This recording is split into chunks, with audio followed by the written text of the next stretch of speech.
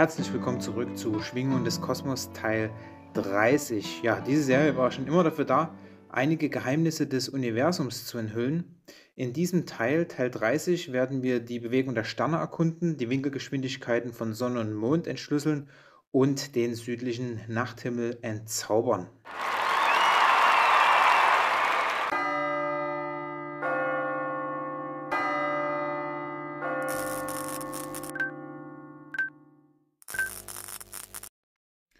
Die Bewegung der Sterne. Die elektromagnetische Kuppel, die die Sonne abbildet, dreht sich um uns herum und hat ihren Mittelpunkt beim Polarstern. Doch wie schnell dreht sie sich eigentlich? Die Sonne, wie wir im dritten Buch ausführlich besprochen haben, bewegt sich in einer Spiralbewegung. Uns interessiert hierbei die Geschwindigkeit ihrer kreisförmigen Bewegung. Sie vollendet eine Umdrehung in 24 Stunden. Die elektromagnetische Kuppel, in der die Sterne eingebettet sind, hat eine etwas langsamere Geschwindigkeit, da sie der Sonne um etwa 52 Minuten hinterherhinkt. Der Mond hingegen vollführt jeden Tag eine komplette Umdrehung in 24 Stunden und 52 Minuten, wodurch der lunare Tag definiert wird. Der Mond hinkt der Sonne um etwa 12,4 Grad pro Tag in Bezug auf deren Rotation und den magnetischen Nordpol hinterher. Diese Bindung an die Sonne bestimmt, in welchem Sternbild sich der Mond befindet und formt seine verschiedenen Phasen. Wenn wir zur elektromagnetischen Kuppel der Sterne und Sternbilder zurückkehren und ihre Bewegung beobachten, ähnelt sie der des Mondes und der Sonne. Die Sterne bewegen sich von Osten nach Westen entlang eines kreisförmigen Pfades um den Polarstern, der sich über dem magnetischen Nordpol befindet. Ihre Winkelgeschwindigkeit ähnelt der des Mondes und der Sonne. Die Sonne trifft jedes Jahr am selben Datum wieder genau auf dasselbe Sternbild im Tierkreis, wodurch ein Jahreszyklus abgeschlossen wird. Wenn wir die relative Geschwindigkeit der Sonne im Vergleich zur elektromagnetischen Kuppel betrachten, in der die Sterne eingefangen sind, ergibt sich eine 365,25-tägige Rotation der Kuppel um die Sterne, wobei sie der Sonne um 0,9856 Grad pro Tag hinterherhängt. Wenn wir bedenken, dass 360 Grad 24 Stunden entsprechen, ergibt sich, dass 0,9856 Grad etwa 3,94 Minuten ausmachen. Zusammengefasst können wir die konstante Winkelgeschwindigkeit der Rotation der Kuppel berechnen, die um Polaris und den magnetischen Nordpol zentriert ist und sich auf die feststehende Erde bezieht.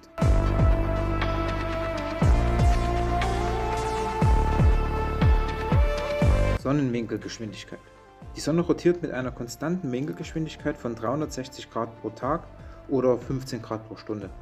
Anders ausgedrückt vollendet die Sonne alle 24 Stunden eine Umdrehung um den magnetischen Nordpol, unabhängig von ihrer geografischen Position. Die Winkelgeschwindigkeit der Sonne bleibt konstant. Das heißt, die Winkelgeschwindigkeit der Sonne sind 360 Grad pro Tag. Mondwinkelgeschwindigkeit. Der Mond hat eine konstante Winkelgeschwindigkeit, die geringer ist als die der Sonne. Daher hinkt er der Sonne jeden Tag um 12,4 Grad oder etwa 52 Minuten hinterher. Dadurch ist die Winkelgeschwindigkeit des Mondes 347,6 Grad pro Tag. Die Verzögerung des Mondes in Bezug auf die Sonne führt zu seinen verschiedenen Phasen. Winkelgeschwindigkeit der Sterne die Sterne und Sternbilder rotieren ebenfalls mit einer konstanten Winkelgeschwindigkeit um den Polarstern. Je näher ein Stern am Polarstern liegt, desto geringer ist seine individuelle Geschwindigkeit, aber die Winkelgeschwindigkeit der Rotation bleibt konstant. Winkelgeschwindigkeit der Sterne und Sternbilder sind 359,0144 Grad pro Tag. Aufgrund dieser Geschwindigkeit, die etwas geringer ist als die der Sonne, sehen wir, wie die Sonne jeden Monat mit einem anderen Sternbild in Einklang steht. Ein Jahr später steht sie wieder am gleichen Punkt wie vor einem Jahr. Der Mond ist mit der Sonne verbunden, daher ändern sich seine Phasen in Zusammenhang mit seiner Position zu den Sternbildern von der Sonne aus. Dies geschieht alle zwölf Sternbilder innerhalb eines Mondmonats, was etwa 29 Tagen entspricht.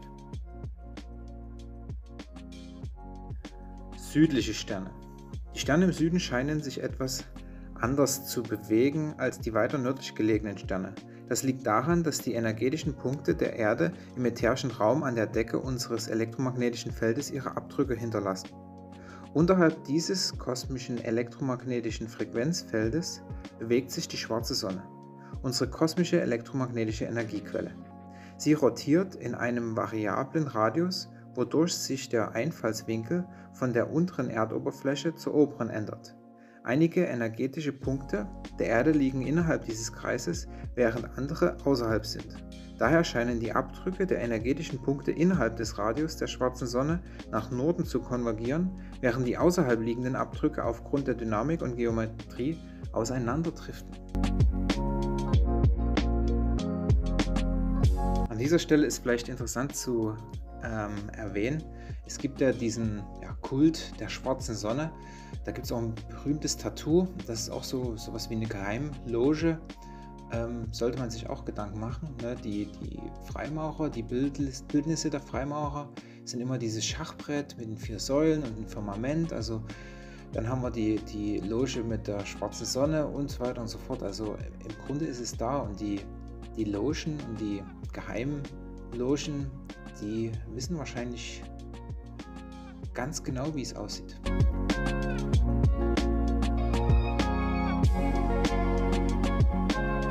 Nächtlicher sichtbarer Himmel. Wir sehen, dass die Sonne, der Mond und die Sterne unterschiedliche Winkelgeschwindigkeiten haben, was zu den Beobachtungen am Nachthimmel führt. Die Sterne am Nachthimmel verändern leicht ihre Position von Tag zu Tag, bis sie ein Jahr später wieder an derselben Stelle sind. Auf den folgenden Seiten werden wir sehen, wie der Nachthimmel jeden Monat um Mitternacht aussieht, und zwar für 13 aufeinanderfolgende Monate. Es gibt eine leichte Verschiebung der Sterne jeden Monat aufgrund der leicht höheren Winkelgeschwindigkeit der Sonne im Vergleich zu den Sternen. Daher sieht der nächtliche Himmel zur gleichen Zeit an jedem Tag des Jahres etwas anders aus, wie wir in den folgenden Seiten beobachten werden. Ja, auf den Bildern beobachten wir, dass die relative Winkelgeschwindigkeit des Sternhimmels im Vergleich zur Rotationsgeschwindigkeit der Sonne jedes Jahr zu wiederkehrenden Ausrichtungen zur gleichen Zeit führt. Also ein Jahr später ist alles am selben Ort. Diese Beobachtung führt zur Einführung von Schaltjahren, die alle vier Jahre auftreten. In einem Schaltjahr haben wir einen zusätzlichen Tag, also insgesamt 366 Tage, um die geringfügige Abweichung auszugleichen, die sich über die vier Jahre hinweg angesammelt hat. Ja, für mich äh, wieder schön zu sehen, wie man jedes Phänomen, was wir am Nachthimmel oder am Taghimmel beobachten können oder über die Jahre hinweg äh, in diesem Modell Anwendung und Beachtung finden und auch auf dieses Modell zu übertragen sind. Inzwischen muss ich sagen, dass es bei diesem Modell der Plasma, äh, des Plasmamondes als Abbild der Erde weniger offene Fragen gibt für mich als bei der offiziellen ja, runder Ball mit kurvigem Wasser Theorie. Da habe ich mich jahrelang mit beschäftigt, mit Universum etc., Lichtgeschwindigkeit und muss ganz ehrlich gestehen, ich hatte hinterher eine Menge Fragen und eine Menge Dinge blieben unbeantwortet. Hier in diesem Buch, umso tiefer ich hineingrabe, umso ja, fragenloser bin ich. Ist wirklich ein wunderbares Buch, kann ich jedem empfehlen. Ja, das soll es von mir gewesen sein. Teil 30, Schwingung des Kosmos. Wir sehen uns beim nächsten Mal. Schaut mal in die Videobeschreibung. Ansonsten bis Teil 31. Bis bald.